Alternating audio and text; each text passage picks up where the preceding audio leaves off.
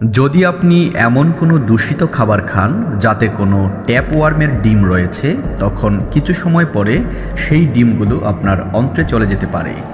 আর একবার যদি তারা ভেতরে চলে যায়, তখন তারা নিজেদের বড়শির মতো মুখ ব্যবহার করে, যাতে আপনার অন্ত্রের সাথে নিজেকে আটকে রাখতে পারে। তারপর সেই ওয়ার্মগুলো আপনার পাচনতন্ত্র থেকে পুষ্টি শোষণ করতে শুরু করে। যার ফলে তারা ধীরে ধীরে বেড়ে ওঠে। আর একটি ট্যাপওয়ার্ম পরিপক্ক হতে হতে সেটা আপনার ভেতরে থাকা অবস্থাতেই তার দৈর্ঘ্য কয়েক ফুট পর্যন্ত লম্বা হয়ে যায় এবং যদি চিকিৎসা না করা হয়, তখন এইগুলো মানুষের শরীরকে হোস্ট বানিয়ে তার ভেতর কয়েক বছর পর্যন্ত বেঁচে থাকতে পারে।